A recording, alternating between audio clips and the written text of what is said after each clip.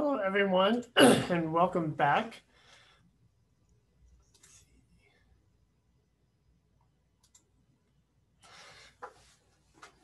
Welcome back from our break. Uh, we're going to get ready and started for our next session. So next up, uh, we have Sai from NetApp, who's going to talk about iflib. Uh, and um, oh, no, during the break, I was checking on um, Nextdoor, which my sorry, it's my other laptop. I was checking on the hallway track. Sounds like y'all are continuing to talk about IPv6 things, something about using jails, trying to get deterministic IPv address, IP addresses that way. So uh, continue to have fun on the hallway track, but next up, I'm going to turn it over to Sai. So are you ready, Sai? Thanks, John. Yes, I am. Okay, thanks. Okay, I'm going to share my screen.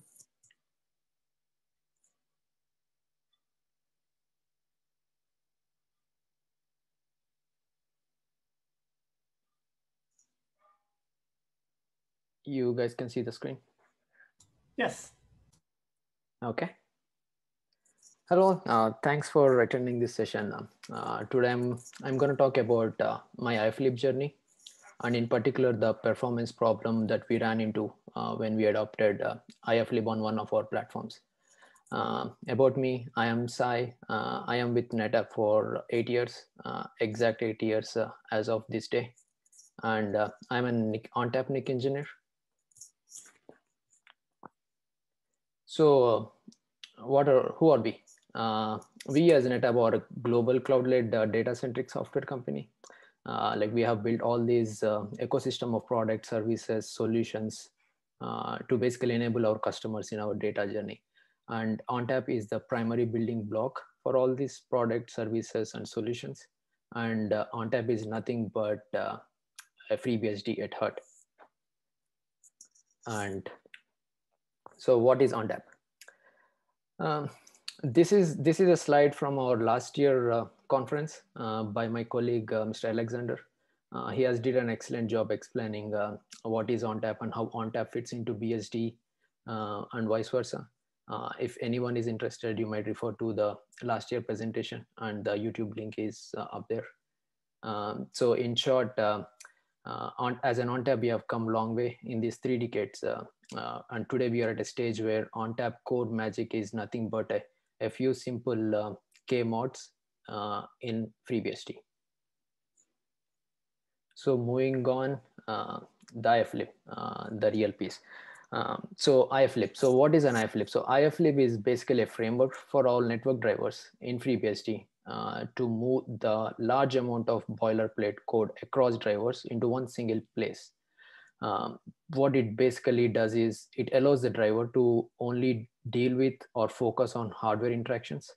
And uh, there are many drivers that have been migrated to iflib. And of all the drivers, uh, we as a NetApp, uh, we are mostly interested on Intel 1G, 10G, and 40G drivers. And our journey has started with iflib uh, when we pulled the SVN change. Uh, so, and when so when we pulled that SVN change, uh, the merge wasn't going well. Uh, and then I looked at this change and then I realized that it's a complete driver rewrite. Um, I'm having a tough time to integrate our customizations in.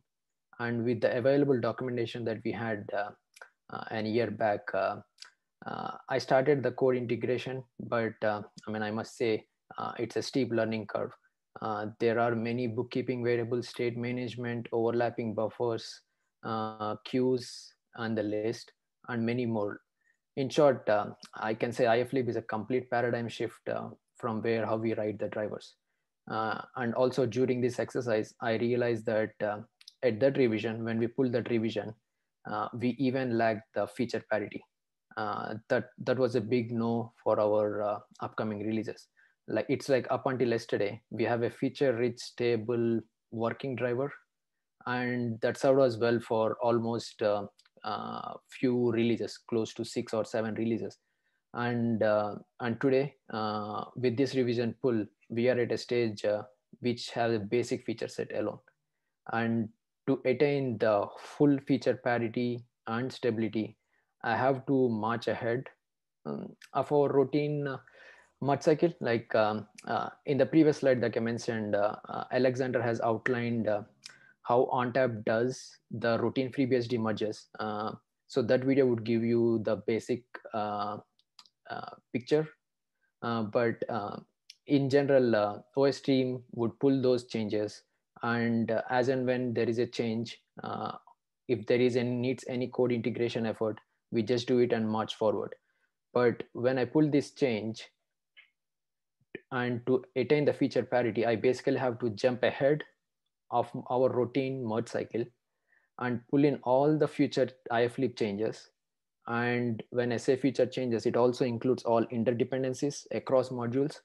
And also I need to pull in those dependencies. So it's basically a huge dependency tree or a graph. And uh, it was basically a nightmare. Uh, I had spent close to uh, two months to get the things working uh, or to attain a basic feature parity level.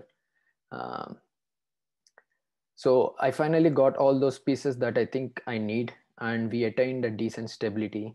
Uh, and so the next uh, thing for us is to put it through performance and see how it fares against the baseline.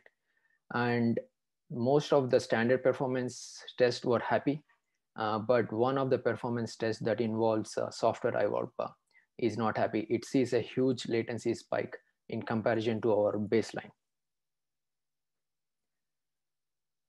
So we started digging into this, uh, as in why why we are seeing a huge spike in latency. So uh, the first step we looked into the netstat, uh, netstat output, and I see a Q and A. Uh, yes, this is all Intel iflib. Uh, okay, uh, sorry for the divert. So yes, we started looking into netstat um, and uh, we found that the LRO and TSO sizes uh, are way smaller uh, in comparison to our baseline. So we thought maybe that is our hint and we started making changes uh, for uh, to match or exceed the LRO and TSO sizes. Uh, so at first we started tweaking the interrupt. rate. so IFLIB comes with a default static interrupt. so we started tweaking those values um, and uh, there is some increment in LRO size, but the latency, we did not see any, I mean, huge improvement or any considerable improvement in latency. Um, in parallel, uh, we also started talking with Intel uh, and uh, put forth the theory about the LRO size. So uh, thanks to Intel, they have come forward and provided us a change that would uh, increase the LRO size uh, the change basically does uh, uh, it basically stops the aggressive checking of the available descriptors and instead rely on IRQs uh, to tell when to poll for the completed uh, RX descriptors. Uh, and with this change, yes, indeed, we have LRO size bumped to 17K. And the values that you see there, 16K is our baseline, 13K is our IFLib baseline without Intel's change. 17K is with Intel's change. So in fact, we are 1K greater than our baseline. Um, there is improvement in latency, uh, maybe a 1X, but still uh, uh, we are nowhere close to our baseline. Um, so we are thinking maybe we might as well need the TSO segment size increase too. Um, so we started to tweak from 2K, 4K to 16K. Um, uh, but in fact, uh, uh, there is no latency improvement than we had with LRO. Um, so then we so then we started looking in um, digging in more uh, so the next uh, we found that we have matched the LRO TSO sizes matched to our baseline uh, but latency is nowhere close uh, so then we started looking at uh, the code and the behavioral differences that we have between IFLib and non-IFLib based drivers uh, with respect to Intel, Intel drivers. Um, and we find that uh, uh, the AIM, the adaptive interrupt moderation has been removed. And we also find that uh, the TX is a soft IRQ in an IFLib driver when compared to an hard IRQ uh, in the legacy or BSD11 drivers. So I have started an attempt to bring back the aim, the adaptive interrupt moderation. And um, that is still in progress uh, thanks to Mark uh, uh, and Kevin, we are working on these changes to pull in uh, the bring back aim into iflib based drivers. And then uh, in parallel in my local workspace, uh, I started uh, creating a unique IRQ uh, for TX, much, much same as RX side, and tie this IRQ callback uh, into an uh, G task. So whenever I get an IRQ callback, I just queue a simple uh, G task. Um, so just tie into the existing TX mechanism for IFLib. Uh, there was no improvement uh, still. Um, so now we are um, what close to maybe six or eight months into this exercise, and we still have uh, a much uh, to even catch up to our baseline. Um, and then we started looking into the basics. Uh, like we started looking at from the software iWARP perspective or from the application perspective and we noticed that uh, the application request uh, basically take close to 10x time to complete in comparison. That is the time between the mbuf send on TX side to an mbuf free callback, we see almost close to a 10x uh, multiple uh, to get the free callback uh, reported. Um, then we added a bunch of histograms um, at all different levels in the stack, uh, application, networking stack, and driver uh, to see what is going on. And uh, that's when we notice that uh, TX mbuf is basically staying longer in our stack uh, in comparison to the baseline. So, but the TX path is pretty much straightforward. The application prepares a TX packet, hands over to stack, stack prepares the TS1, gives it to iflib to hand it over to the hardware. So if at all there is any latency that can uh, spike, it should be somewhere close to iflib. Uh, so I started making few changes in iflib with an intention to basically shorten the lifespan of mbuf within iflib. And uh, uh, yes, after that change, we are now a match to our baseline numbers.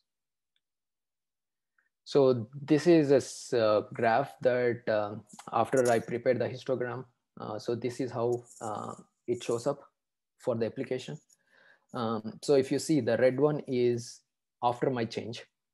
So if you see that majority of mbufs are basically getting their free callback being called within less than one uh, millisecond. Uh, in comparison to the blue one, which is prior to changes, uh, few mbufs even drag into uh, 800 millisecond or even a second. And uh, this is how it looks at iflib. So in an iflib, uh, with the change, almost all mbufs. So this is this is a basically a lifespan between the IF transmit getting called into IF iflib and IF iflib is enqueuing into their buffer and the exit path where it basically drains or reclaims the completed uh, TX. So this whole mbuf lifecycle span, after a change, it basically lies within 10 to 100 uh, microseconds. I mean, there are something trailing into one millisecond, but at most everything gets completed by one millisecond. Uh, in comparison to the baseline or without any change, you can see the few mbufs even drag into a second or even uh, two seconds. I mean, I have captured uh, the numbers behind this graph in later slides. Uh, if anyone interested, we can look into them at the end of presentation. But uh, in those numbers, you can see uh, some uh, iflib mbufs even go till four seconds. So what was my breakthrough? So the key to my breakthrough is to separate the TX mbuf reclaim processing uh, from the TX processing. When I say TX processing, it is the encap or the IFLIB TX drain. So these are the changes that I made in the code to uh, gain back my baseline.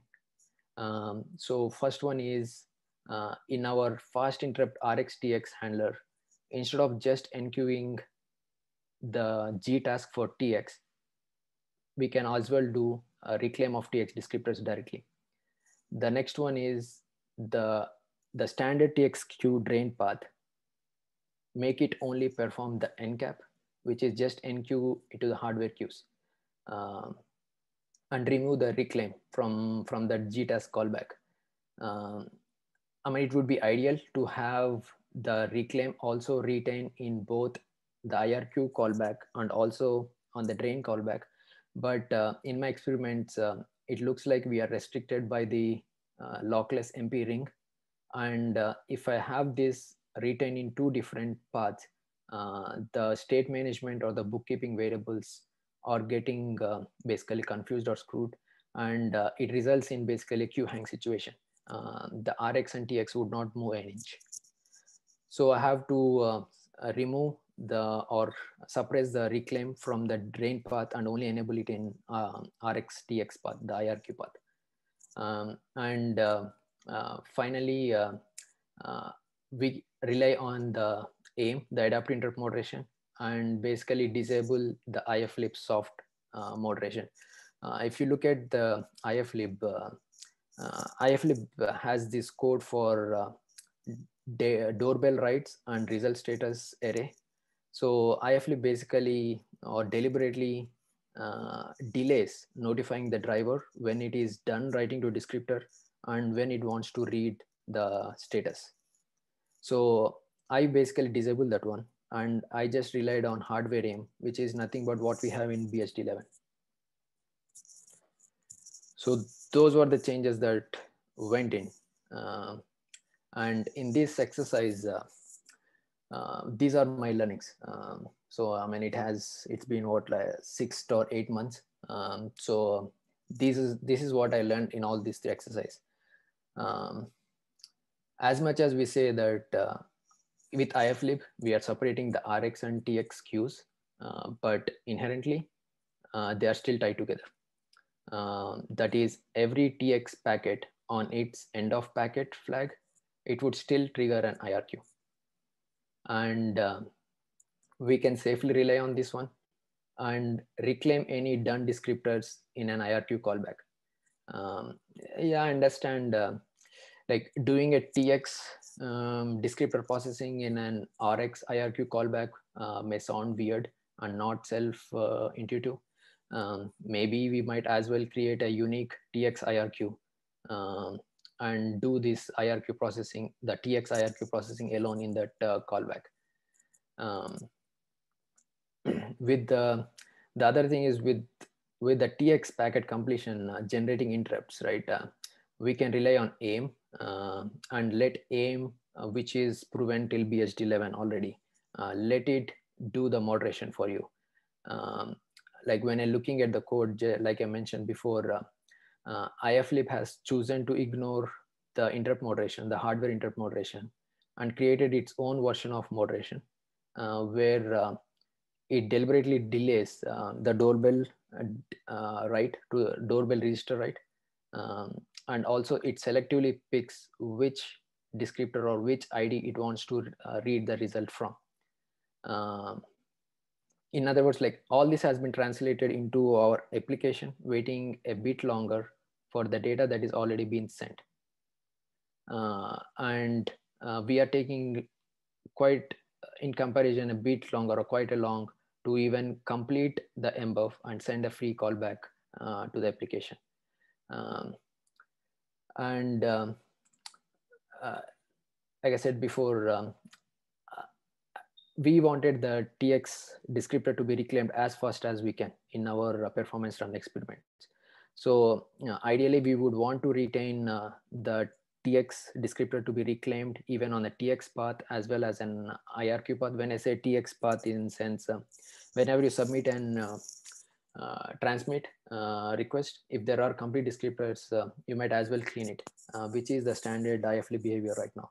We might as well retain it, but if I retain that one, we are running into a queue hung situation.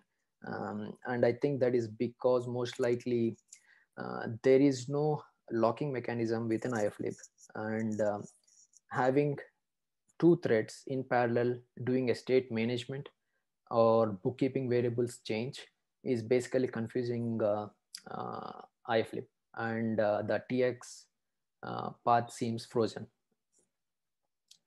And uh, like said uh, iflib is like an uh, i mean i can say mystery box or a pandora box. Um, every time i open the file to uh, look into the code i learn a new one a new thing. Um, and uh, uh, I must say the special thanks to uh, my teammates Frank and John uh, who have been with me all along um, as a team. Like we chased this one for almost eight months, and these guys has kept me sane for all this long. And um, thanks to my performance team who stayed with me all along to run the experiments, give me the pictorial representation of what's happening, um, and help me guide in the right path. Uh, and as well uh, thanks to Mark, Mark Johnston. Um, NetApp is working with Mark Johnston, uh, uh, helping us to uh, take back some of these or few of these uh, changes back to our community. Um, and I'm sure we have long way to go. Um, so that that is it my presentation um, if you have any questions or thoughts um, uh, here is my email. And uh, like i said in the uh, meeting uh, uh, presentation before these are the numbers that uh, went beyond the graph. Um, so if you see before change it drags into 800 milliseconds.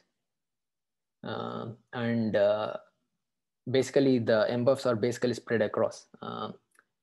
Whereas with the change it is mostly a top heavy uh, this is how it looks at iflib. Um, if you see the histogram, uh, the mbufs are spread all over. And uh, with the change, we are top heavy. Majority of mbufs are getting done within 800 microseconds.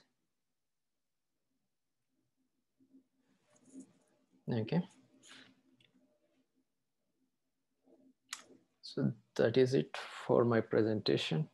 And there is a question in there is this also relevant for mellanox? Uh, no.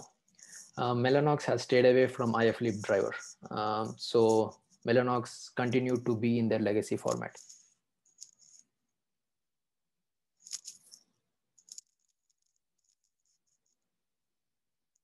And looking into the chat okay i think that's it Yep, I've looked. I don't see any other. Let me check YouTube, but I don't see any other questions.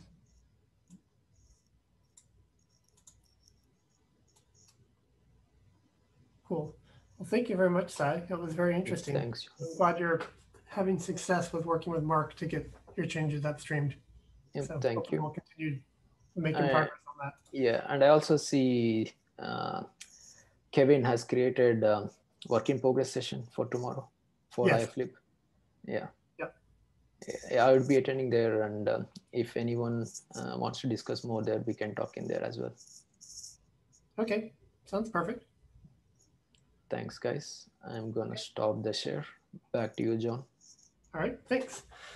So uh, we have uh, one final break. Well i guess we have one more break today.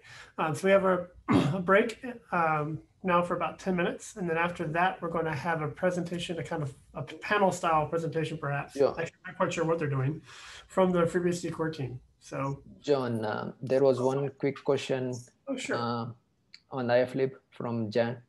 Uh, so, Jan, um, so this is in specific to software iWARP. Um, that is one of our application on one of our platforms. So this this application is heavily used um, to basically replicate the content across clusters. And this is an RDMA protocol running on TCP stack. And uh, for this uh, application, right, for our use case, we basically replicate the content over RDMA protocol. And once the content replicates on the other side, we're gonna flag, yes, we are done. So we would need a very low latency response or very low latency application. And we are not seeing that happen with iflib and maybe the other applications maybe they are not such latency sensitive but uh, i mean i can say that the applications that we are on or we are running on they were not latency hungry um, but maybe if there is any application that is latency sensitive uh, maybe they might as well run into the same situation